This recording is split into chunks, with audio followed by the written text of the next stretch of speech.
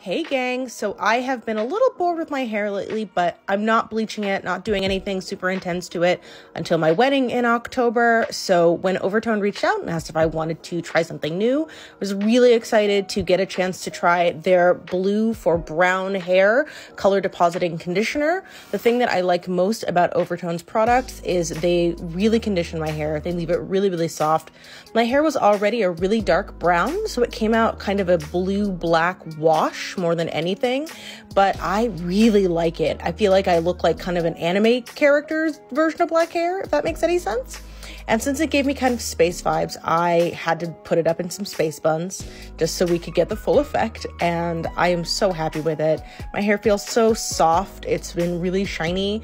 And small bonus, my fiance absolutely loves the way that Overtone smells. So every time he comes home after I've done my hair, he's like, oh, you smell so nice.